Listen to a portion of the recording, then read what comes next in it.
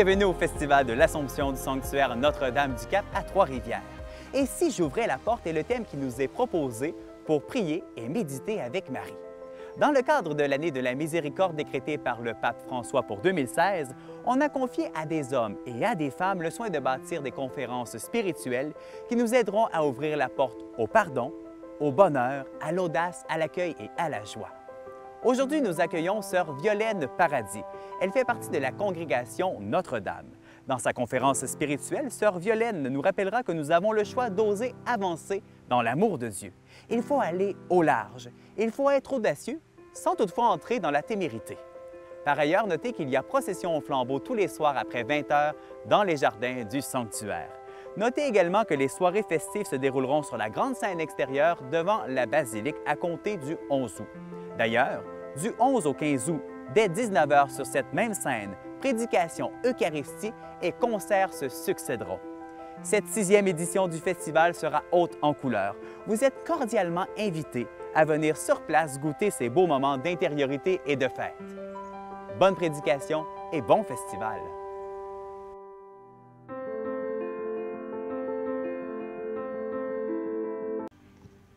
Accueillons la bonne nouvelle de l'Évangile de Jésus-Christ selon Saint Matthieu. Aussitôt, après avoir nourri la foule dans le désert, Jésus obligea ses disciples à monter dans la barque et à le précéder sur l'autre rive pendant qu'il renverrait les foules. Quand il les eut renvoyés, il se rendit dans la montagne, à l'écart, pour prier. Le soir venu, il était là, seul. La barque était déjà à une bonne distance de la terre. Elle était battue par les vagues et le vent était contraire. Vers la fin de la nuit, Jésus vint vers eux en marchant sur les eaux, sur la mer. En le voyant marcher sur la mer, les disciples furent bouleversés.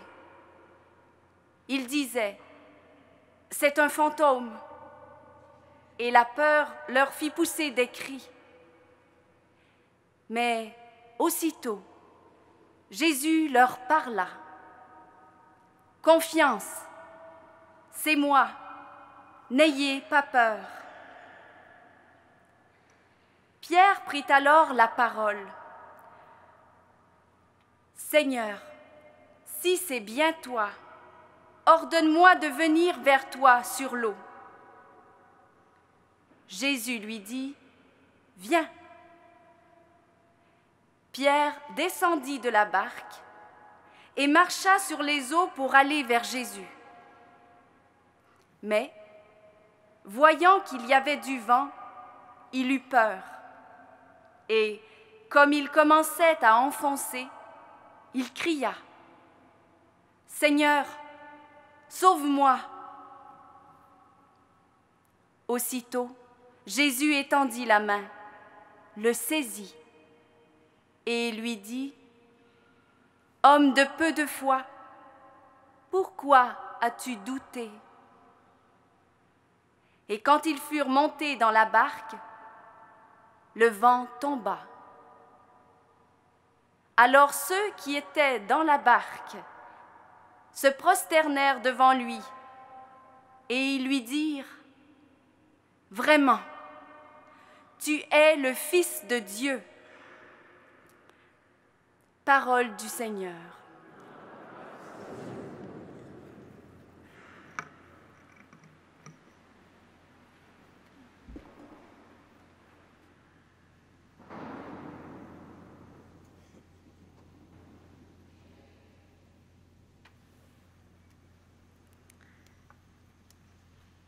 Bonjour. Monter ici, c'est un peu comme marcher sur les eaux vers Jésus. Non, non, non c'est des blagues. Très heureuse de venir vous rencontrer ici pendant cette neuvaine à l'Assomption. Et si j'ouvrais la porte hmm? Si j'ouvrais la porte, et quelle porte? La porte de la foi? La porte de la confiance? Qu'est-ce que ça veut dire ouvrir la porte de la confiance? C'est sûrement croire, comme peut-être certains l'ont entendu le premier jour de la neuvaine, croire à l'amour de Dieu pour moi, pour nous. C'est sortir de l'isolement, hein, du repli sur soi, pour entrer dans cette communion d'amour qu'il veut avec nous, qu'il veut pour nous. C'est aussi sûrement décider, comme on l'a vu hier avec le Père Luc, choisir la vie et décider d'être heureux, de vivre avec lui, pour lui, en lui. C'est aussi décider de vivre cette confiance, cet amour qu'il nous témoigne. Mais je me pose une question. Qu'en est-il de mon amour pour lui, de ma confiance envers lui? Jusqu'où elle va? Est-ce que je l'aime et lui fais confiance juste quand ça va bien? Quand ça m'arrange ou bien j'ose l'aimer quand ça va mal, quand je ne comprends plus trop qu'est-ce qui m'arrive, quand, comme les disciples, je suis ballottée en pleine mer par les vents contraires.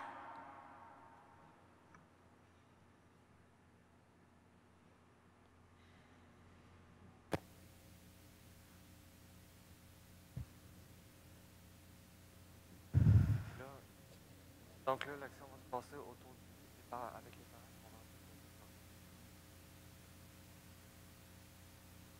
C'est possible de pas voir les gars.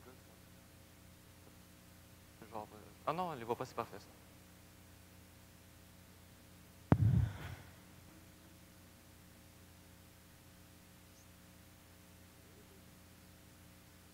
On va devoir quitter. J'arrive pas à dormir.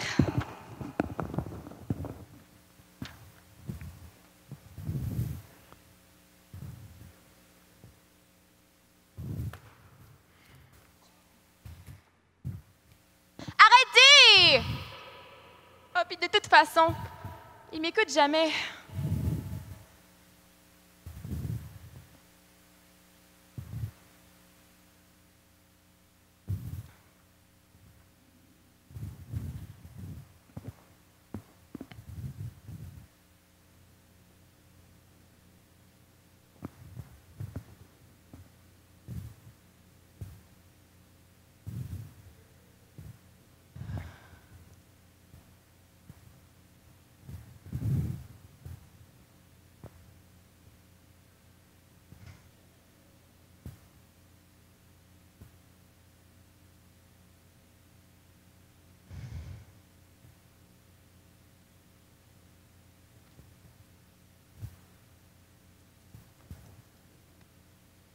Vivre de cette confiance?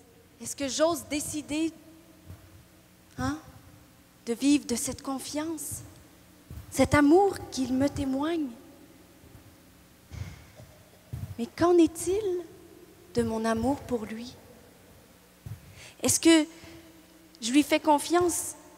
Est-ce que je l'aime juste quand ça va bien? Quand ça m'arrange? Ou bien est-ce que j'ose l'aimer quand ça va mal, quand je comprends plus trop qu'est-ce qui m'arrive ou qu'est-ce qui arrive aux gens que j'aime autour de moi, quand je suis en pleine mer, ballottée par des vents contraires?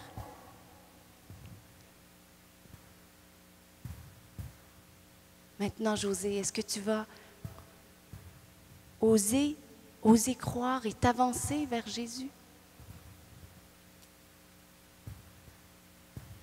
Jésus le Christ, lumière intérieure, ne laisse pas mes ténèbres te parler.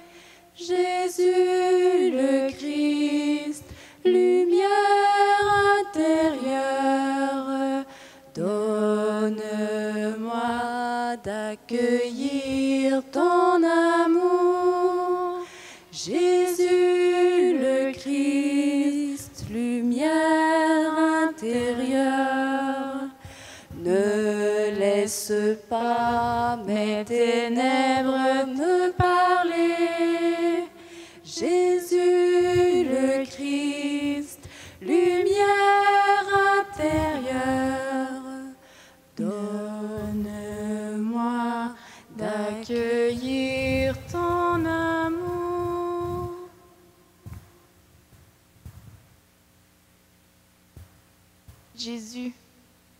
aide-moi à passer ces moments difficiles.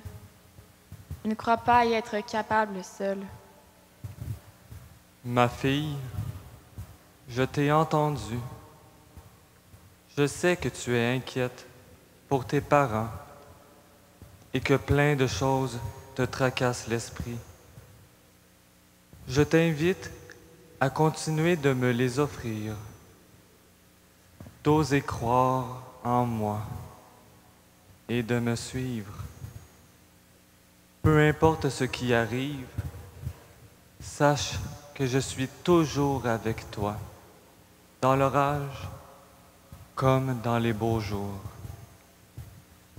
Garde ton regard fixé sur moi et les noirceurs ne seront plus aussi obscures. La lumière passera.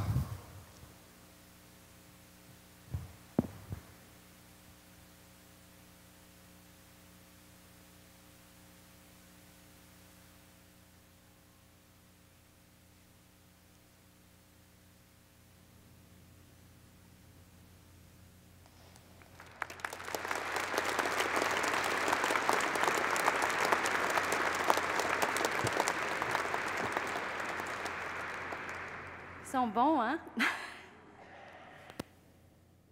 Ce dont on a été témoin, là, dans l'histoire de José et de ses parents. Son sentiment d'être perdu, ballotté, submergé par des événements douloureux, je l'ai vécu et peut-être d'autres parmi vous l'ont aussi vécu, hein?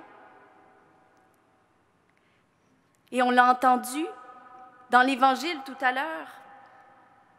Même les disciples de Jésus sont passés par là. Revoyons Pierre, là, au milieu de la tempête. Alors qu'il était effrayé, il a osé croire que c'était bien Jésus qui était là, qui a marché sur les eaux, qui est venu les rejoindre au cœur de ce qui était remuant dans leur vie, sa vie et celle des disciples dans la barque. Ouvrir la porte de mon cœur fait aussi appel au dépassement, hein, à oser plonger dans la foi, oser avancer là où, spontanément, je n'oserais pas aller, où je n'oserais pas me mouiller. Plonger dans la foi, ça peut vouloir dire être déstabilisé, être envoyé là où je ne pensais pas aller. Les disciples dans l'Évangile qu'on a entendu, ils venaient de vivre la multiplication des pains. Ils devaient être bien dans l'herbe, là, après le miracle que Jésus venait d'accomplir. Le miracle qui venait de s'accomplir sous leurs yeux et auquel ils avaient participé en quelque sorte. Mais non. Qu'est-ce qu'il fait Jésus? Il les oblige à monter dans la barque et le précéder sur l'autre rive pour poursuivre la mission commencée. je me dis, en les envoyant là-bas en pleine mer, Jésus, il manifeste sa confiance en eux. Ils sont capables, ensemble. On est capable, ensemble, dans la barque Église, de traverser la mer.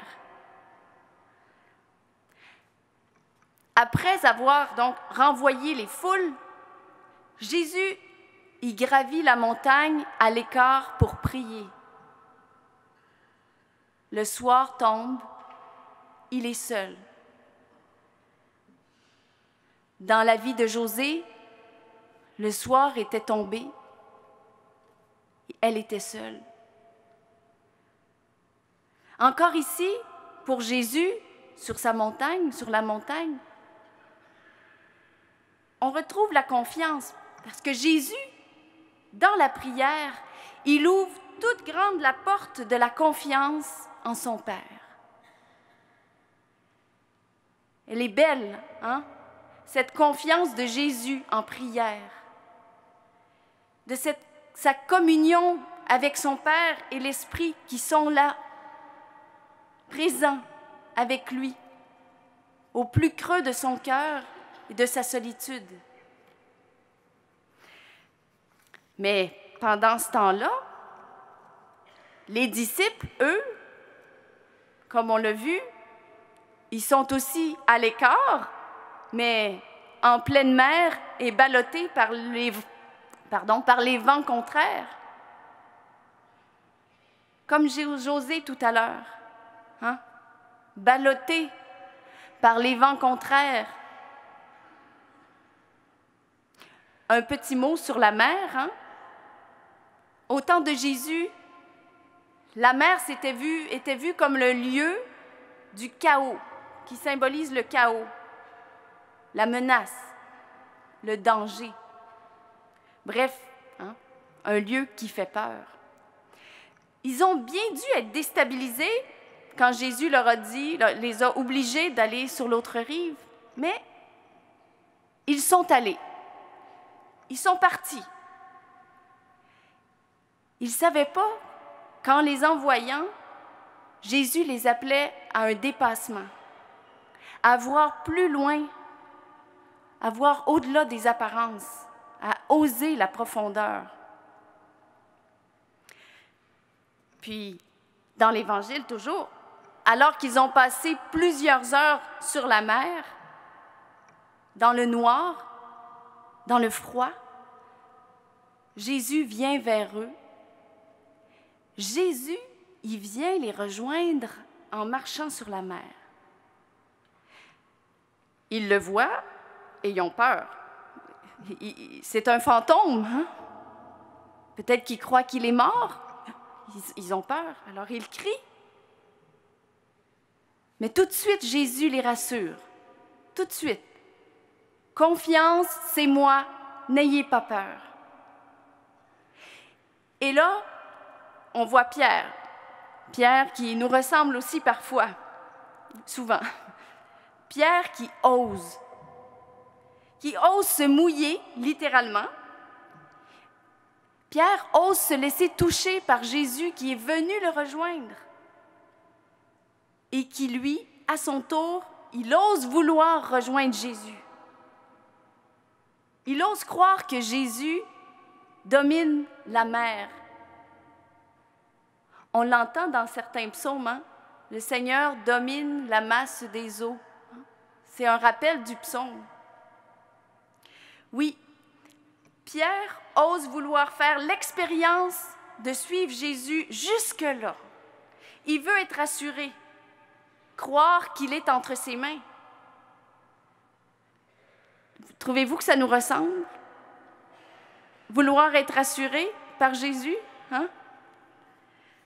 Mais oser la foi, oser faire un pas dans la foi au cœur d'une épreuve, c'est une grâce à demander, je crois, chaque jour. C'est comme commencer à écrire un texte, une prédication. C'est comme faire un témoignage, monter un sketch. On ne sait pas trop au début. Il faut savoir oser la confiance. Oser cette rencontre avec lui qui nous rejoint, qui souhaite aussi qu'on le rejoigne dans ce frère, dans cette sœur qui est tout près, qui sont là et qui appellent à l'aide. Oui, oser la confiance. Moi, quand je pense à la confiance, il y a un symbole qui me vient. Celui d'un aimant. Hein?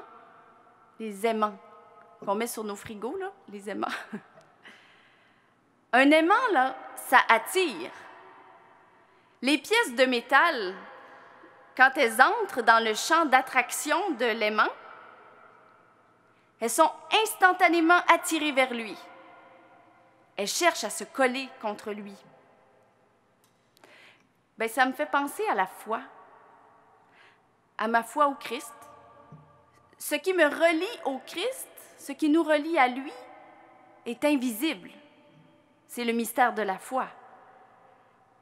Comme ce courant qui passe de la pièce de métal à l'aimant. Moi, je me dis que ça doit ressembler à ça, à ce qui se passe dans mon cœur quand je parle à Jésus, à ce qui se passait dans le cœur de José quand elle a pris sa croix, hein, puis qu'elle l'a mis sur son cœur.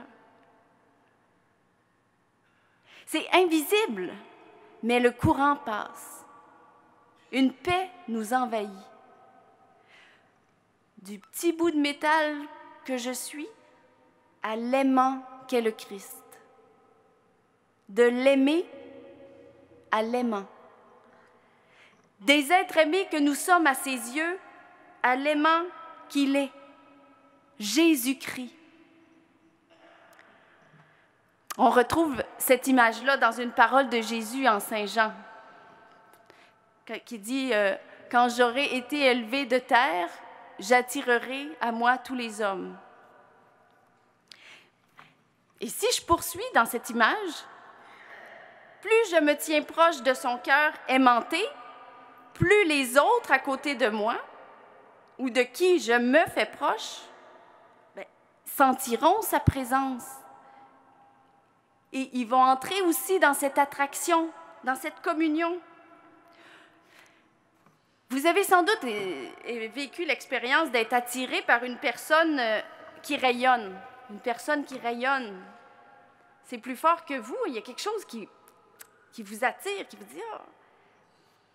comme les saints, les saints font ça dans nos cœurs, hein. on est attirés, ils nous attirent vers le Christ en fait.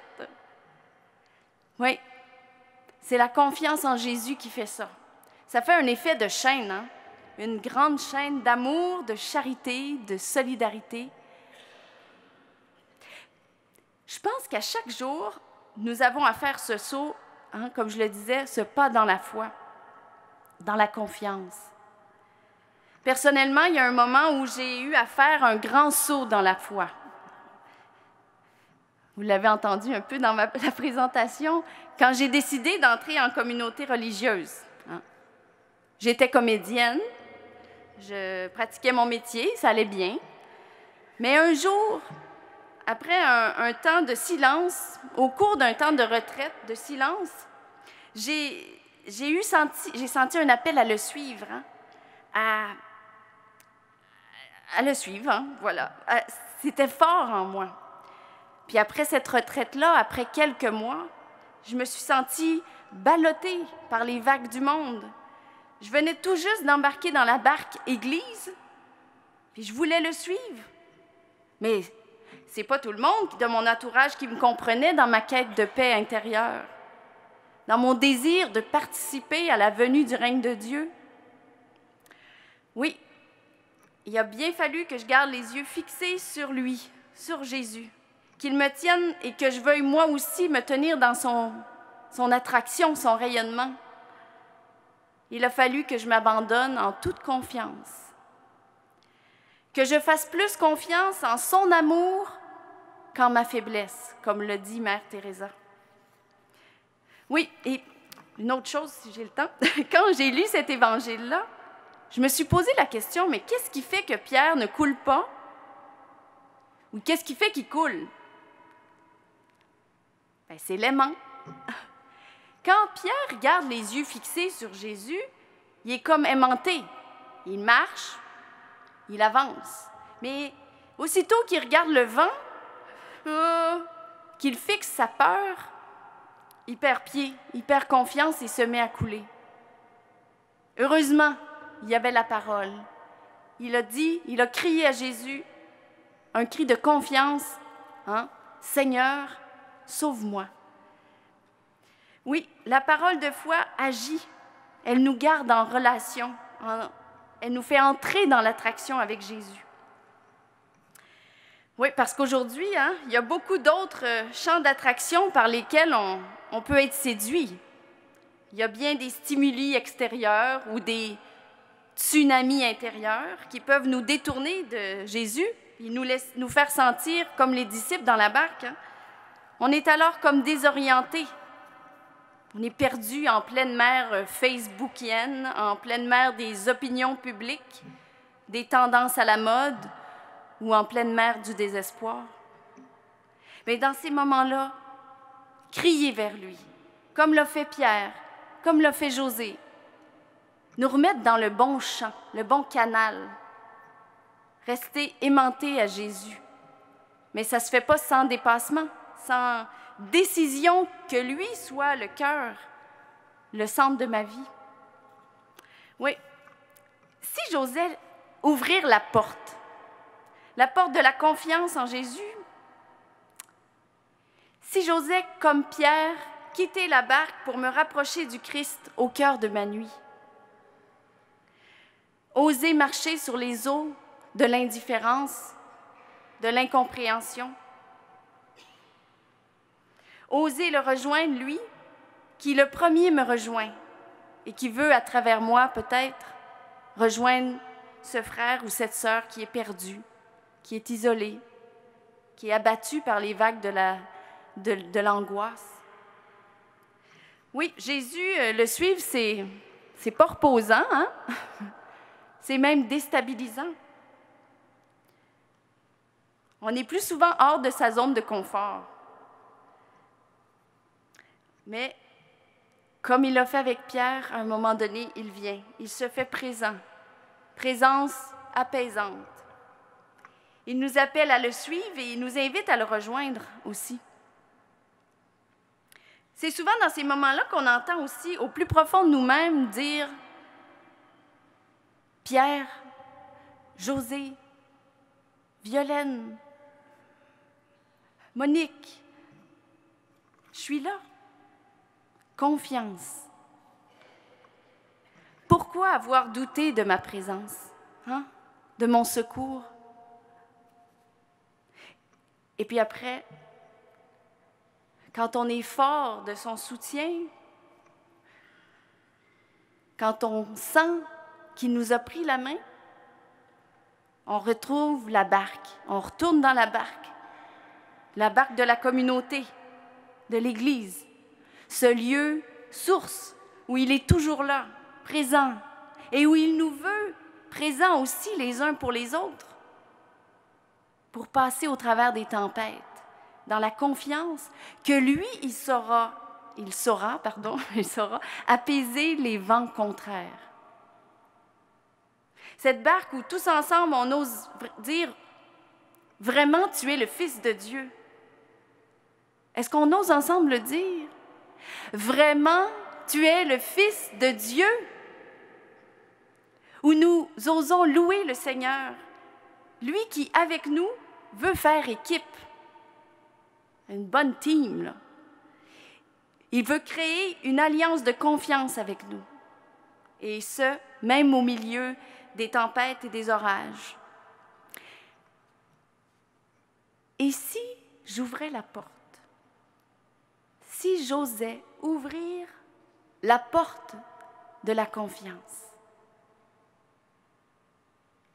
Amen.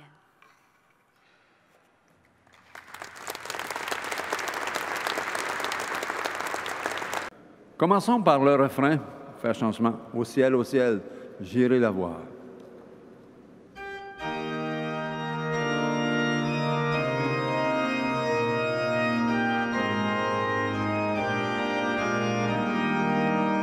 Bien ensemble. Au ciel, au ciel, au